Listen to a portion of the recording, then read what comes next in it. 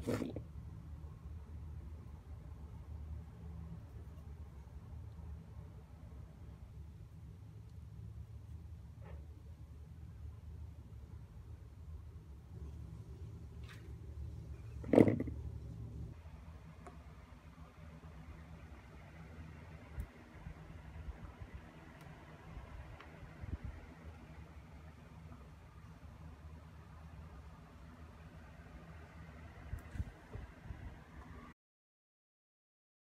I'll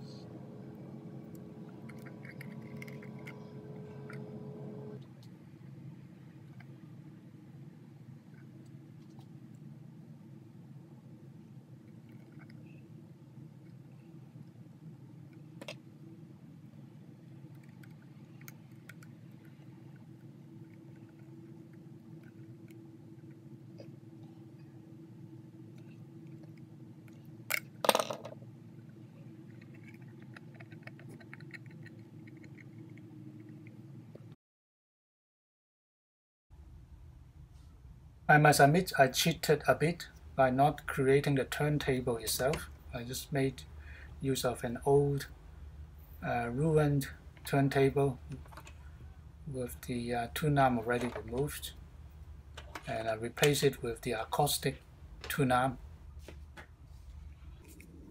Rotating tone arm so you can move up and down where the soundbox is connected. The soundbox is made of uh, tin can and the other side is covered by acrylic board, very thin acrylic board.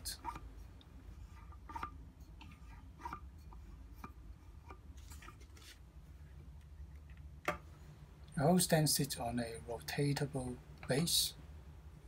So this is all set. We just need to hook up the horn speaker. Then put on a record. I don't have a 70 8 turns record, so I only got a 33 and a third turn record. Um, someone told me that this is not as good as a 78 turns record, but uh, that's all I have, so let's try.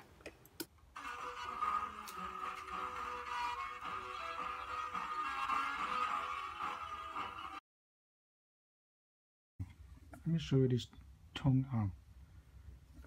It is made of a few components. First, this is a base.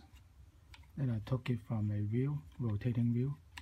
And then I stick a PVC pipe so I can attach this sub pipe that plug into this T-joint and then another longer pipe at the top so I can connect with the uh, curvy pipe for the gramophone horn speaker.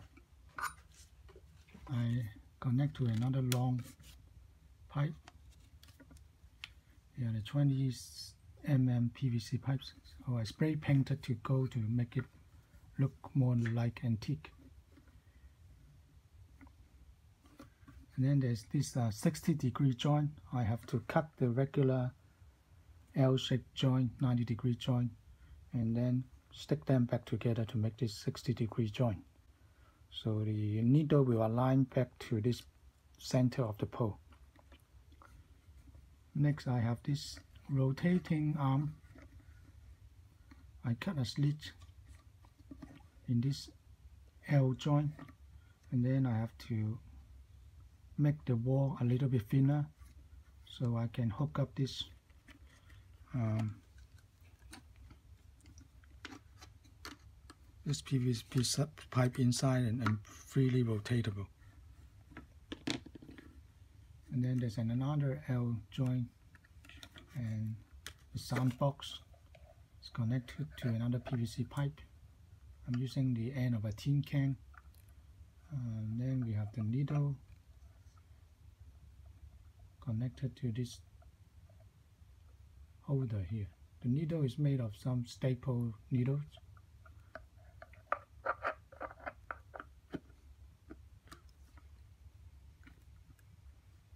uh, it's a Thumbtack like this Thumbtack so I just cut it up from there because the size is suitable for needle uh, for the gramophone.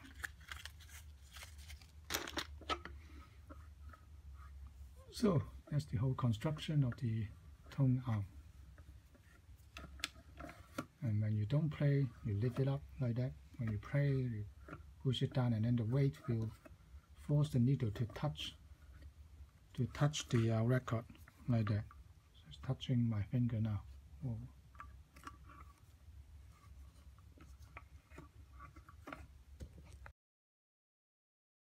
To make this rotating joint, first you need to take an L joint, cut a slit here. The size of the slit should be able to allow an M3 screw to move freely. And then we use this to make this wall thinner so that you can put in a 20 millimeter PVC pipe and spin freely. Lastly, you insert the screw to this hole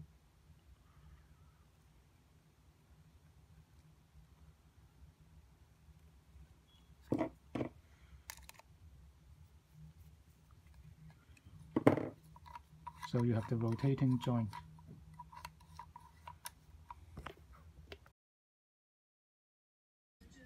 This is the rotating base where we'll put in the stand.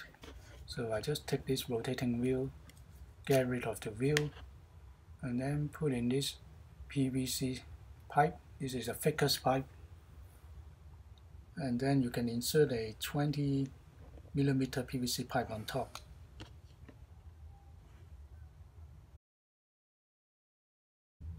There are different ways you can make the soundbox. You can use a tin can and cut out acrylic boards, very thin acrylic boards to be the base and the vibrating membrane. Or you can just use the end of a tin can and just use the tin uh, on the bottom to be the vibrating membrane and then put in another acrylic board on top to fit the sound to the pipe.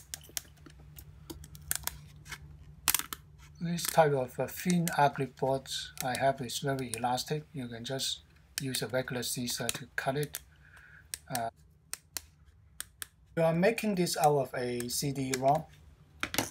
The plastic there is more fragile and you can use the blower to heat it up and then you can use the scissor to cut it. It will not crack that way. You need to make two covers like this. One uh, with a 80 millimeter hole so you can put in the 20 millimeter PVC pipe. This is what I'm drilling.